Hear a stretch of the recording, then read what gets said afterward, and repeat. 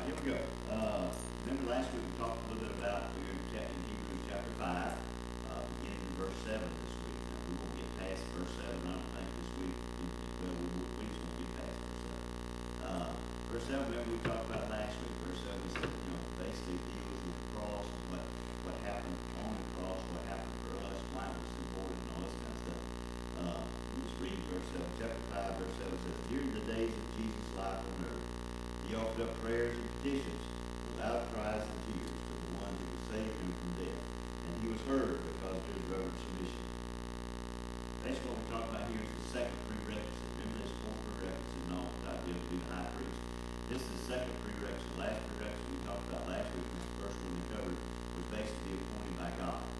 Is the second prerequisite to be a high priest, and that is he must be human.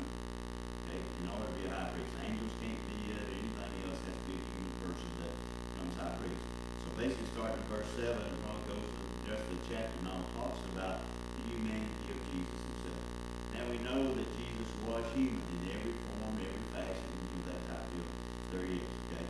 Uh, basically, look at John chapter one, verse fourteen. You don't have to look all these things up, I'll try to read it as soon as I find it.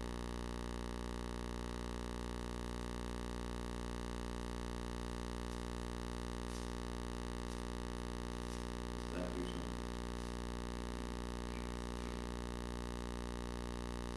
John chapter one, verse fourteen says, "The Word became flesh and made, made his dwelling among us. We have seen his glory, the glory of the one and only, who came from the Father, full of grace and truth." So basically, it talks about that Jesus was fully, fully human. That does not mean that he gave up his divinity, okay? So Jesus in himself, in his body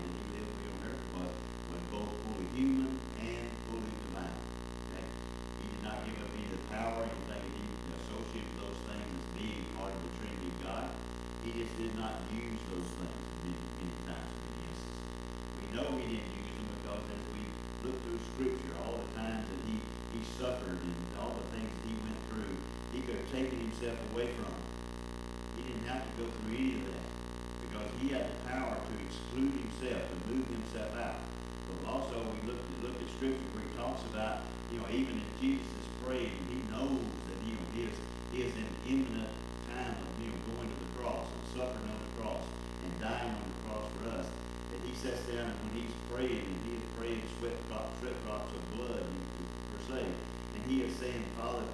cup from me if it be your will. But it is in your will and not my will that we pray, that we pray this prayer. So Jesus could have alleviated, alleviated himself all the suffering and problems and everything else on the cross if he chose to do so. But we know there is a reason for that, why he had to go there and everything else. And that reason was not for Jesus himself. That reason was not for God. That reason was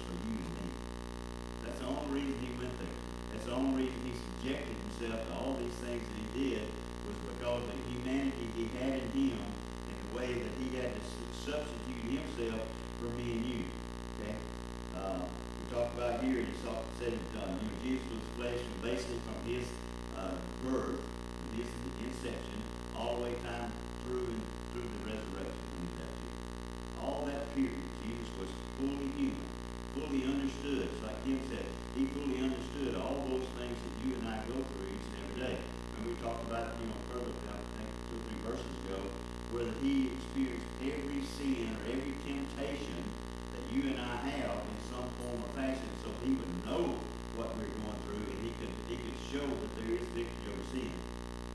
to say that Jesus submitted himself to any sin whatsoever. He was pure, holy, and, above sin.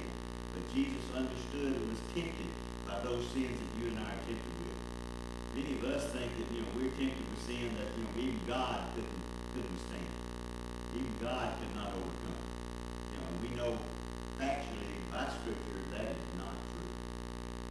Since God understood and was tempted in every way that you and I are tempted,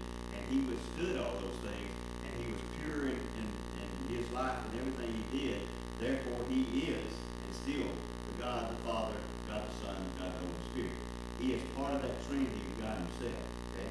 Uh, it talks about here, it said, uh, he is fully human, it says, in the second part of that, says, during the days of life on earth,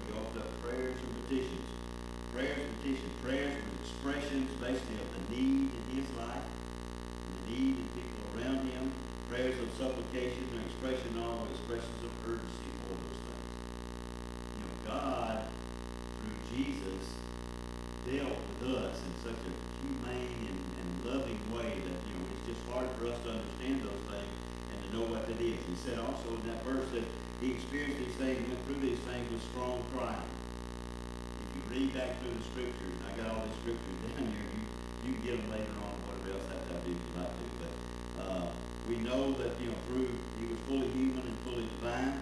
He, his divinity is shown in John fourteen, chapter fourteen, verse six. His humanity is shown in Mark chapter fifteen, verse thirty-four, where it talks about, it says, uh, well, let's let me read it.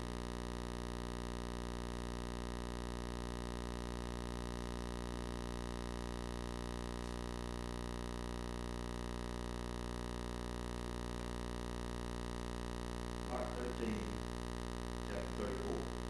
At the ninth hour, Jesus cried out in a last loud voice, Eloi, Eloi, lama sabachthani, which means, My God, my God, why have you forsaken me?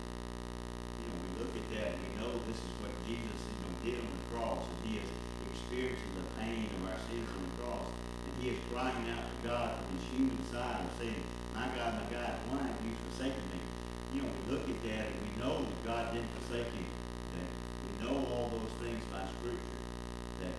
Reason for that, we'll talk about that in just a minute, but the reason for that was that, you know, God had to allow Jesus to experience those things in his life that we experience and give us victory over those things.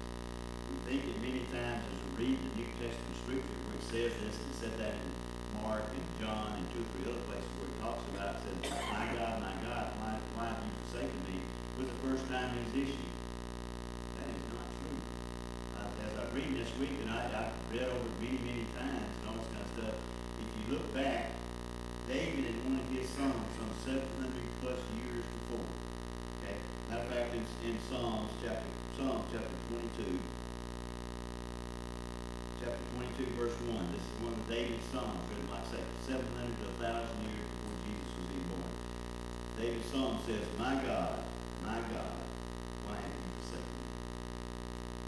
Isn't it amazing? Of all those things that we think that, you know, that Jesus is experiencing these things and he's saving these things for himself to be alleviated from the pain and suffering he's going through on the cross. He is reiterating all those things for human people, for you and me, because of our feeling that why God has forsaken us, why God has forsaken me in my life and the things that I'm going through here. God never forsakes you and I. God is right there with us the entire time, all the way through whatever problems we're having. He was also there for David. As David went through these things, God was there for him, and God showed David how he could be, how he would be overcome these things. He was there beside Jesus on the cross when Jesus cries out, "My God, my God, why have you forsaken me?" We know that he did not do that, even though in those in John 19 verse 30.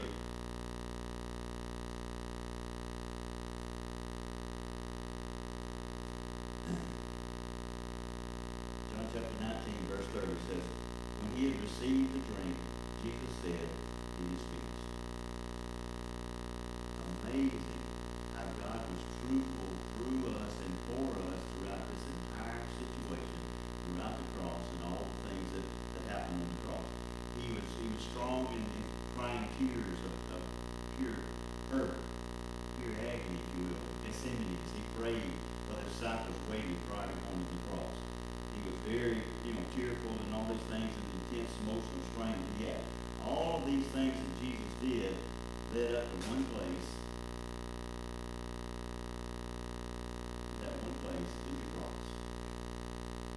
You know, many times we think of the cross, and I, you know, as I was doing this study and everything else, and, and, and Carol told me, said, be real careful that you don't confuse them when you, when you say. Sometimes I get, my mind starts running up here, my mouth's back here somewhere, so what I say is not what I mean. So if you get confused, stick your hand up, say, wait a minute, say it again, and back up, so we get it, okay?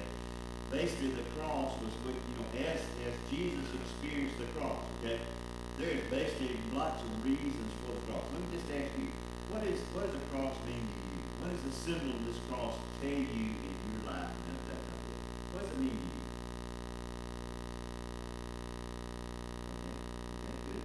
Love is this much. Love, okay? What else? Okay.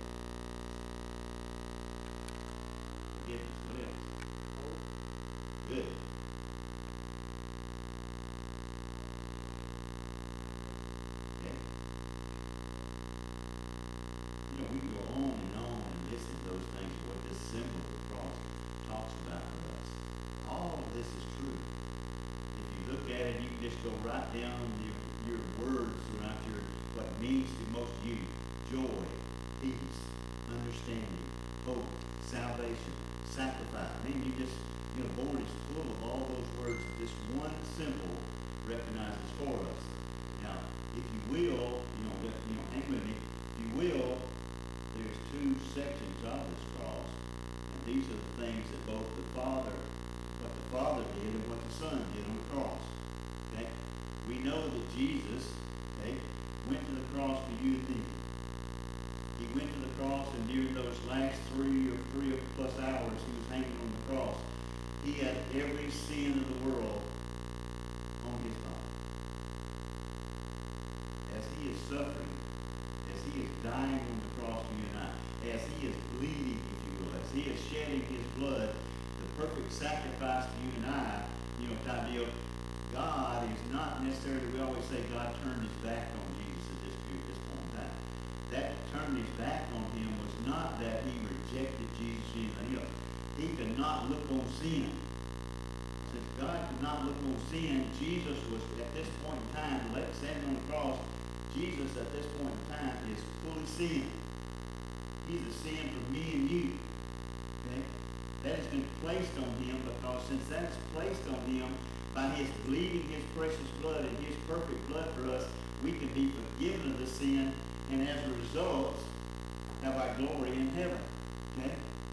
If that, that sin had not been placed on him specifically at this point in time so that he can have victory over sin. What is vic what is how do we have victory over sin? Sin in our life is what? Separation from God.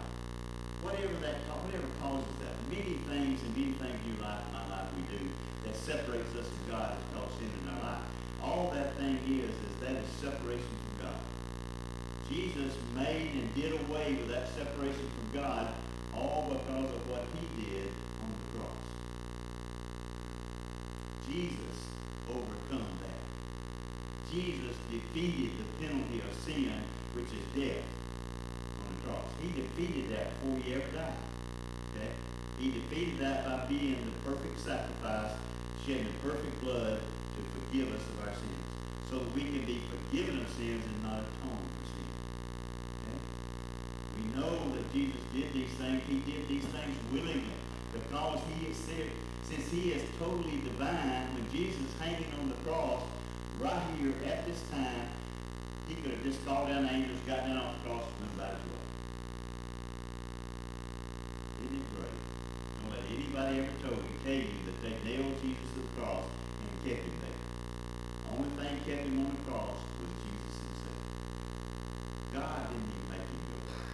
okay? God's will was that he would go there so we could have forgiveness of sin. But Jesus went there willingly and stayed there willingly and died there me. Okay? He died there. Very important that we understand that, you know, this, this what Jesus did here, this defeating separation from God was a spiritual problem. Okay? Was a spiritual problem. Jesus had to take the spiritual problem we had and give, give us redemption from the spiritual loss that we have in our life before he died. He did that so that we would be made right with God immediately. At, at this point in time, Jesus is not dead, so therefore we still have a separation physically,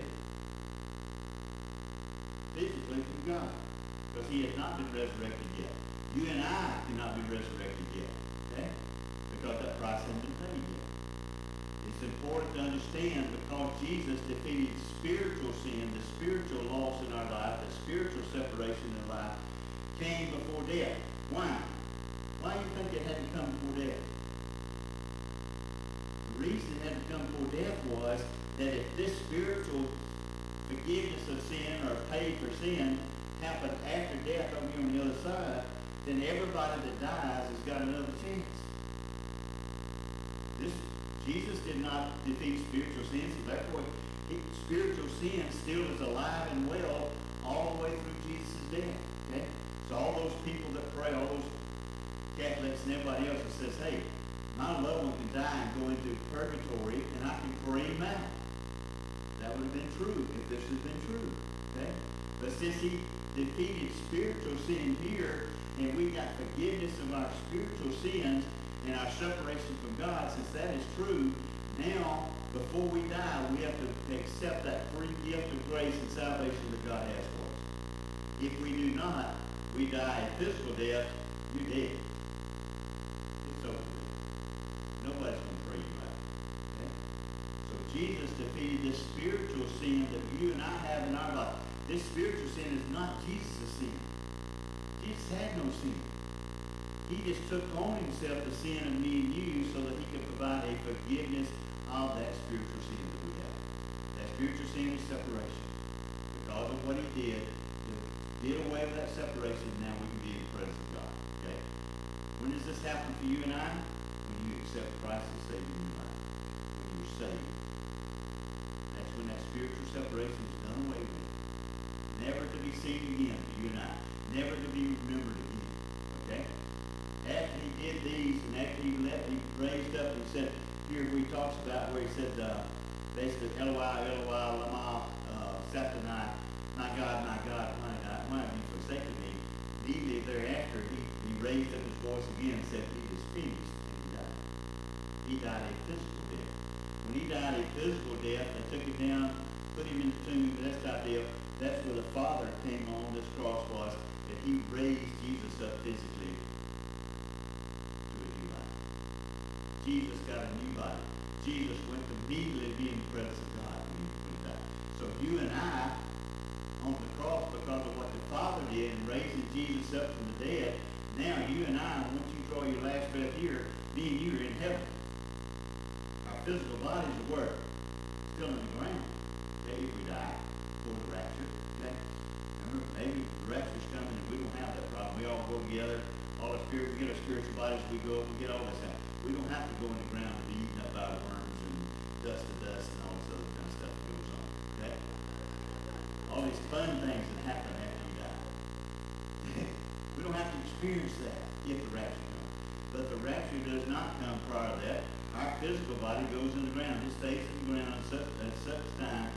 the second coming of Christ when he's going to raise it up. Okay? And give us a new spiritual body.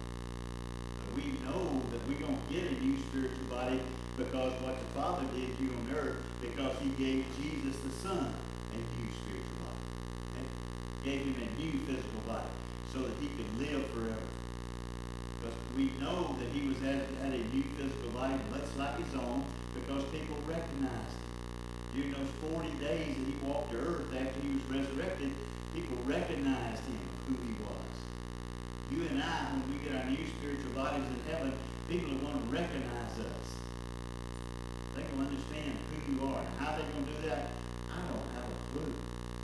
I'm hoping when I get up there that my hip is not out of joint and all this other kind of stuff, and et cetera, et cetera, et cetera. And I don't walk with a limp like half the time. I don't look like I'm 95 years old and I don't have a pudgy belly out and all this kind of stuff. He's going to give me a perfect body like maybe my grandson. I'm kind of going, how are they going to recognize me?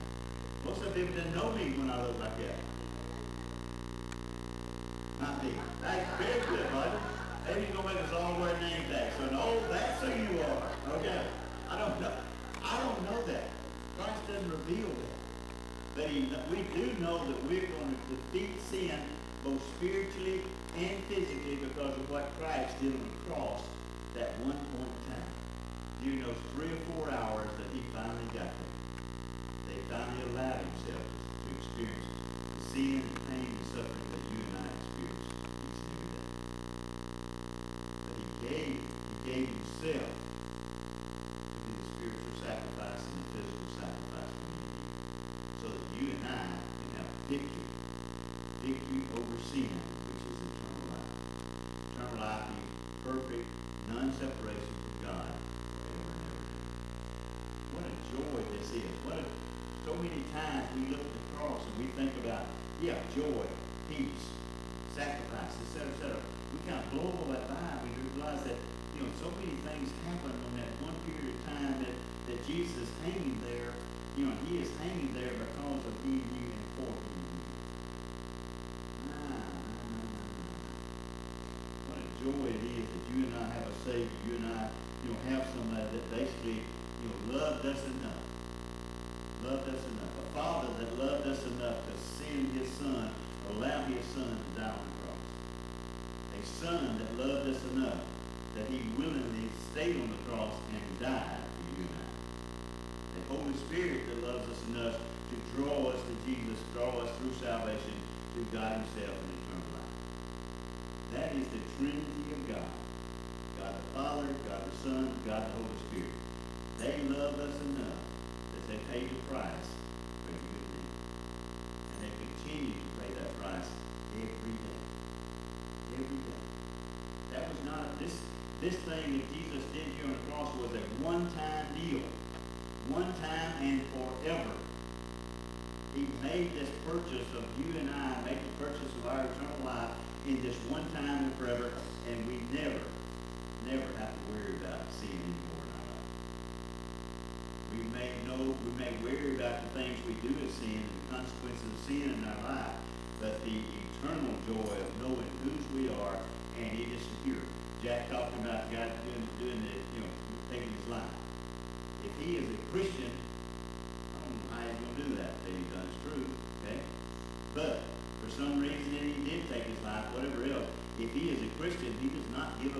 salvation. Because what does it say? That you and I cannot take ourselves out of God's will, cannot take ourselves out of God's hand. So if he is a Christian before he kills himself, he is still a Christian. He's going to maybe lose a lot of crowns or whatever else, maybe in heaven of all these things that he does. But God has said he, when Jesus died for us, he forgave every sin we had in the past, every sin we do in the present, and every sin we're going to do until we die. What a joy that is. We need to live in that joy. Understand that if anything bad happens to you in church, hey, Lord, it's in your hands. I deal with it the best I can, but it is in your hands.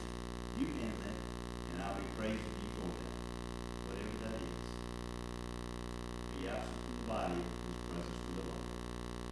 Die here on this earth. I'm in heaven the next breath. Sorry.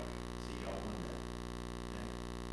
Man, what a what a beautiful thing the cross is to us. We need to as we focus and we think about all the things and how Jesus loved us, as we look down through Hebrews, the rest of the chapter five and six in Hebrews talks about the humanity of Jesus and what he did for us. That's what this whole chapter is about. You can write, read through these next four or five verses here, which talks about the humanity of God, and you just read through them and you're gone. Like reading the Bible through. You know, you don't stop and say, what does that mean? What, if, what does verse 7 mean to me when it says, During the days of life on earth, he offered up prayers and with loud cries and tears.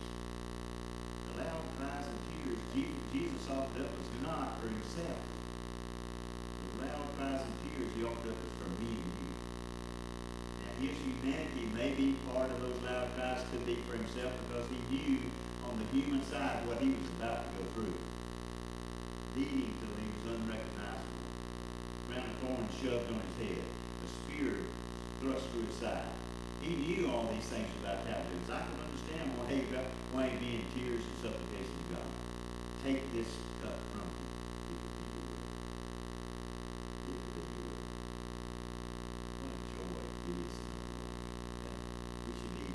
jumping around with joy all the time. Knowing that we're there. Not defeated because of what Satan's doing to us. Okay? Not defeated. Father, we love you. Thank you, Lord, for all that you do for us. Thank you, Lord, for the cross. Thank you, Lord, that as we look on the cross, we can look on that cross understanding that you have defeated everything in our human side of our lives that are wrong. You have made a way for us. You have taken away the separation from sin in our life, the separation from you for eternity. You have promised us a new, heavenly, spiritual, perfect body when the time comes. And Father, because of Scripture, what you allowed Jesus to go through, and what Jesus paid the price specifically and purposely for, we know that one day all these things